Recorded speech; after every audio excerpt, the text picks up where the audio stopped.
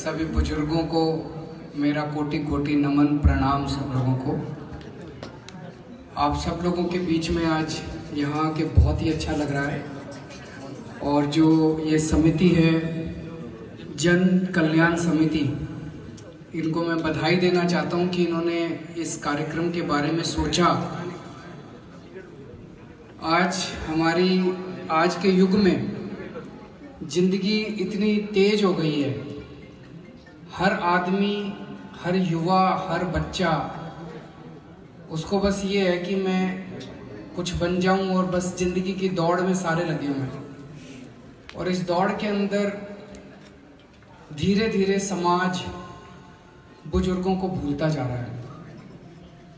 ये पूरे समाज के लिए बहुत ही दुख की बात है, क्योंकि मैं हमेशा कहता हूँ, जो समाज, जो देश और जो परिवार अपने बुज़ुर्गों का ख्याल नहीं रखता और अपने बुज़ुर्गों की इज़्ज़त नहीं करता, उस परिवार में भी बरकत नहीं हो सकती।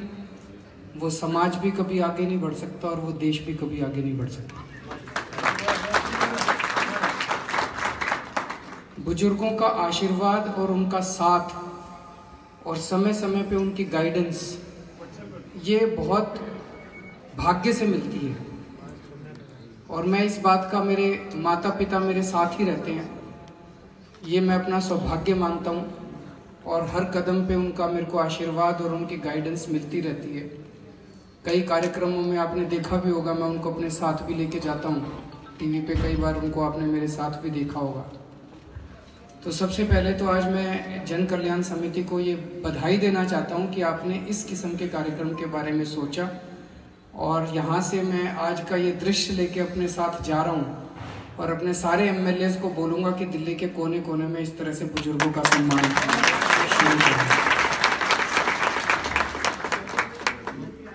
अभी एक माता जी ने स्वास्थ्य सेवाओं की बात की।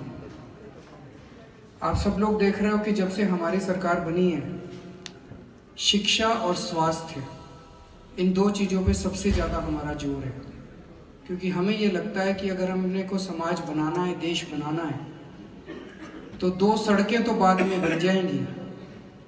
लेकिन सबसे पहले अपने बच्चों को शिक्षित करना है और अपने लोगों को स्वस्थ रखना है।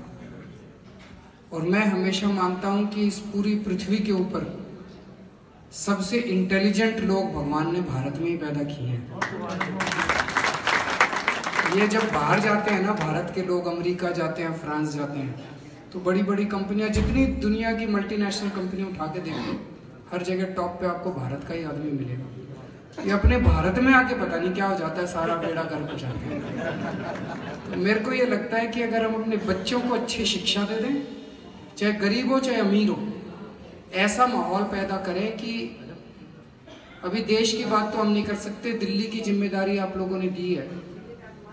और हम इस दिशा में काम करने की कोशिश कर रहे हैं कि दिल्ली में कोई भी पैदा हो, दिल्ली का कोई भी नागरिक हो, उसको अच्छी से अच्छी शिक्षा, चाहे वो गरीब हो, चाहे अमीर हो, चाहे कितना ही गरीब हो, उसके पास पैसे हो या ना हो, उसको अच्छी से अच्छी शिक्षा और उसको अच्छी से अच्छी स्वास्थ्य सेवाएँ हम देने का प्रयास करें। इस दिशा में हम लोग पूरी तरह से काम कर रहे हैं। अभी तीन साल ही हुए हैं। तीन साल बहुत छोटा टाइम होता, बड़ा टाइम नहीं होता। इन तीन साल में इस दिशा में हमने दस बारह नन्हे नन्हे कदम रखे हैं। रास्ता बहुत बड़ा है। स्वास्थ्य के क्षेत्र में मैं आपके सतेंद्र जैन जी को बहुत बहुत बधाई देना चाहता हूँ, जिस किस्म के नए आइडियाज़ वो लेके आए हैं। तो मैं थोड़ा सा बता दूँ, अभी बहुत सारा काम करना बाकी है, लेकिन पूरे दिल्ली में स्वास्थ्य सेवाओं को लेके जो हमने कल्पना की है, सबसे निचले स्तर पे मोहल्ला क्लिनिक। ये मोहल्ला क्लिनिक क्या है? दो छोटे छोटे कमरे, उसमें एक डॉक्टर बैठती है, सारी दवाइयाँ मुफ़्त हैं, सारे टेस्ट मुफ़्त हैं, सारा इलाज मुफ़्त है, चाहे अमीर हो, चाहे गरीब हो। पहले आप लोग सरकारी डिस्पेंसरियाँ देखते थे। सरकारी डिस्पेंसरियाँ, जैसे मैं कहूँ सरकारी डिस्पेंसरी तो दिमाग में आता है टूटी फूटी दीवारें होंगी, उसमें कोई मशीन काम नहीं कर रही होगी, कोई दवाइयाँ मिलेंगी नहीं, अब वो सब बदल दिया। अब मोहल्ला क्लिनिक एयर कंडीशन और बहुत ही खूबसूरत दो कमरे की जगह है, और जिसमें कईयों में तो एटीएम से दवाई निकलती है, सारे 212 किस्म के टेस्ट वहाँ मुफ़्त होते हैं। इस किस्म के 160 मोहल्ला क्लिनिक तो बना लिए। एक साल पहले बन चुके थे। फिर वो फ़ाइल एलजी साहब के पास गई, डेढ़ साल तक एलजी साहब फ़ाइल पे बैठ गए, कह रहे, फ़ाइल साइन करवा ली हम लोगों ने एलजी साहब से। अब एक हज़ार मोहल्ला क्लिनिक पूरी दिल्ली में अगले आठ दस महीने में बन के दिया एक हज़ार मोहल्ला क्लिनिक का मतलब है दिल्ली का पूरा क्षेत्रफल डेढ़ हज़ार किलोमीटर है। आप लोगों को, क्योंकि आप सारी टीचर रह चुके हैं सारी बातें समझ डेढ़ हज़ार किलोमीटर है, एक हज़ार अगर मैं मोहल्ला क्लिनिक बना रहा हूँ तो डेढ़ किलोमीटर में आपको एक मोहल्ला क्लिनिक मिल जाएगा जैसे मतलब वॉकिंग डिस्टेंस के ऊपर आपको एक मोहल्ला क्लिनिक मिलेगा। तो जितनी छोटी छोटी बीमारियाँ हैं, सर्दी, जुकाम, खांसी, बुखार, ये सारा इलाज आपको मोहल्ला क्लिनिक में है मान लो अगर आपको थोड़ी सी बड़ी बीमारी होती है तो पूरी दिल्ली में पॉली क्लिनिक बना रहे हैं। 122 पॉली क्लिनिक बनेंगे। पॉली क्लिनिक में आठ किस्म के स्पेशलिस्ट मिलेंगे आपको। औरतों के डॉक्टर, बच्चों के डॉक्टर, हड्डियों का डॉक्टर एमडी मेडिसिन, इस तरह के आठ स्पेशलिस्ट मिलेंगे और उसमें अल्ट्रासाउंड मशीन, एक्सरे मशीन, दो चार मशीनें मिलेंगी। वहाँ पे अगर थोड़ी सी बड़ी बीमारी है तो मोहल्ला क्लिनिक की बजाय आप उधर जा सकते हैं। और बड़ी बीमारी है, लेकिन वहाँ पे एडमिशन नहीं होगा। तो अपने सुपर स्पेशलिटी और मल्टी स्पेशलिटी हॉस्पिटल दिल्ली के अंदर कई सारे हैं। तो अब अगर आपको छोटी मोटी बीमारी होती है, ऑल इंडिया मेडिकल नहीं जाने की ज़रूरत अगर आपको छोटी गुरु तेग बहादुर हॉस्पिटल, महावीर हॉस्पिटल जाने की ज़रूरत है, वहाँ तभी जाओगे जब एडमिशन कराना हो तो वहाँ भी भीड़ कम हो जाएगी। वहाँ डॉक्टर अच्छे से देख पाएँगे और आपके, दूसरी बात, पूरा सारा इलाज दिल्ली सरकार के अस्पतालों में सारा इलाज हमने मुफ़्त कर दिया। पूरे देश में पहली बार हुआ अमीरों के लिए भी, गरीबों के लिए भी, क्योंकि हमें ये लगता है, आप पूरी जनता जो टैक्स देती है, किस लिए देती है? ये मंत्रियों, मुख्यमंत्रियों की गाड़ी और बंगले के लिए नहीं देती, अपनी सुविधा के लिए देती है। तो हमने शिक्षा और स्वास्थ्य दो चीज़ें हैं जो सरकार की ज़िम्मेदारी है। आप अगर प्राइवेट अस्पताल में जाके इलाज कराना चाहो, आपकी मर्ज़ी है। लेकिन सरकारी अस्पताल में या सरकारी स्कूल में आप अपने बच्चे को पढ़ाओगे, सब कुछ मुफ़्त है और आपको बेस्ट फैसिलिटीज़ हम लोग देंगे। ये हम हाँ जी। मच्छरों का।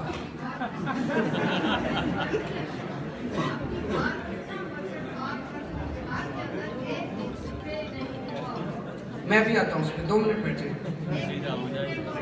मैं भी आता अभी बात करता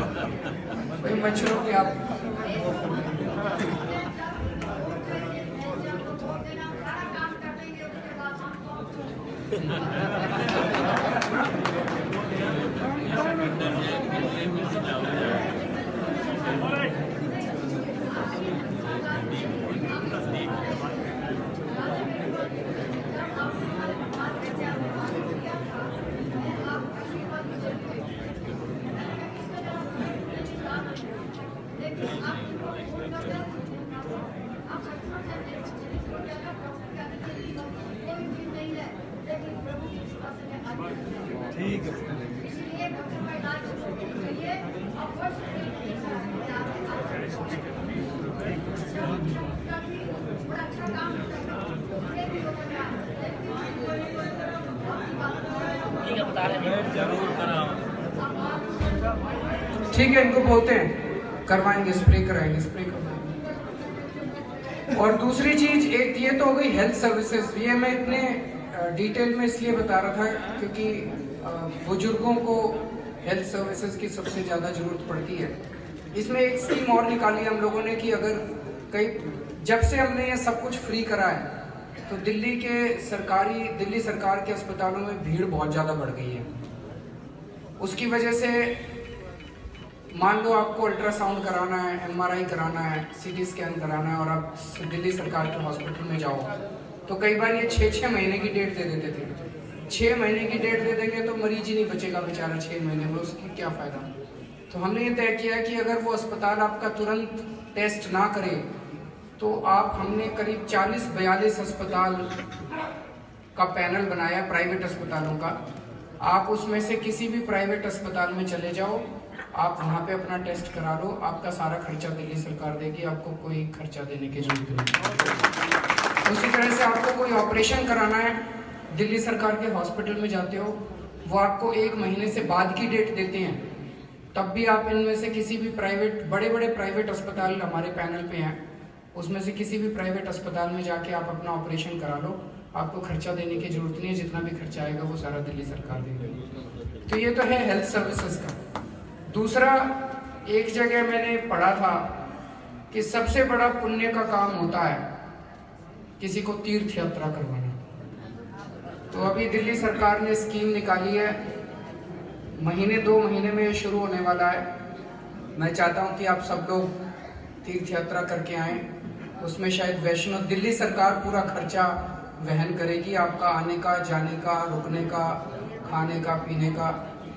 और पाँच या छह रूट अभी डिसाइड किए हैं। उसमें वैष्णो देवी है, हरिद्वार ऋषिकेश है, वृंदावन, मथुरा वृंदावन है, अमृतसर। तो इस तरह के पाँच छह रूट हैं। धीरे धीरे इसमें ऐड करते जाएँगे। तो मैं चाहता हूँ कि आप सब लोग बारी बारी से ज़रूर तीर्थ यात्रा करके आए और बदले में हमें कुछ नहीं चाहिए। जब जाएँ तो वहाँ पे भगवान से दो शब्द आशीर्वाद हमारे लिए भी मांग लें और बहुत बहुत शुक्रिया।